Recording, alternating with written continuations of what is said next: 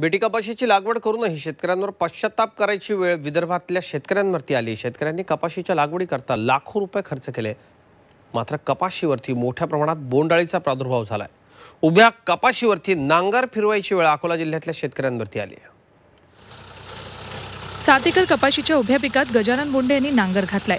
खरं तर ही कापूस वेचणीची वेळ आहे. मात्र वेचण्याआधीच बोंडे यांनी कपाशीवर नांगर फिरवलाय. त्याचं कारण म्हणजे बोंडअळीचा प्रादुर्भाव. यामुळे त्यांचं कपाशीचं पीक पूर्णपणे पोखरलंय.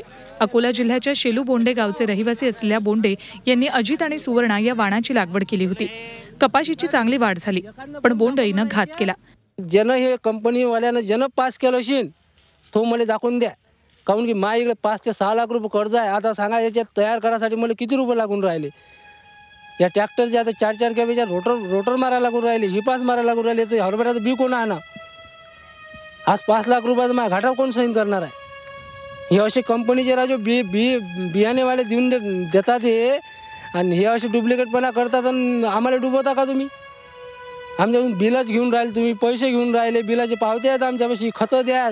चार चार के खतं द्यायला लावता. असा फवारा द्या तिकून फवारा द्या इकून फवारा द्या. इतक्या मोठ्या माणसानं फवारे काढले राजे अकरा अकरा फवारे काढले पराठ्याचे. गजानन यांचा कपाशीवर जवळपास पावणे दोन लाख रुपये खर्च झालाय पण कपाशीच्या सर्व बोंडातला कापूस बोंडईनं फस्त केला. पिकासाठी घेतलेलं पाच लाखांचं कर्ज कसं फेडायचं असा प्रश्न आता त्यांना पडलाय. अशीच काहीशी अवस्था प्रवीण बोंडे यांचीही झाली आहे त्यांनी सहा एकरावर बेटी कापसाची लागवड केली. बोंडळीनं त्यांच्याही कपाशीचं नुकसान केलंय. शेलुगुंडे गावातील पाचशे हेक्टरपैकी दीडशे हेक्टरवर कापसाची लागवड करण्यात आली आहे. मात्र संपूर्ण गावातल्या कापसावर बोंडअळीचा प्रादुर्भाव झालाय. मूर्तिजापूर तालुक्यातील जवळपास सर्वच गावांमध्ये अशीच स्थिती आहे. या पार्श्वभूमीवर कृषी विद्यापीठ आणि कृषी विभागाच्या पथकानं पाहणी केली आहे. कारण तर स्पष्ट माहीत शास्त्र नसल्या कारणाने आम्ही सांगू शकत नाही पण आम्ही शेतात वेळोवेळी पाहणी केली. पाहणी केल्यानंतर प्रत्यक्षात पाहिल्यावर शेतकऱ्याच्या शेतात आजची परिस्थिती पाहिली. तर जवळपास म्हणजे असं नव्याण्णव टक्के नुकसान झालेलं आहे. काय? आणि प्रत्येक बोंड फोडून पाहिला असता त्याच्यातनी सेंद्रिय बोंडअळीचं प्रमाण जास्त प्रमाणात आढळून आलेलं आहे. बोंडअळीच्या प्रादुर्भावामुळे राज्यातील कापूस उत्पादक शेतकरी त्रस्त आहे.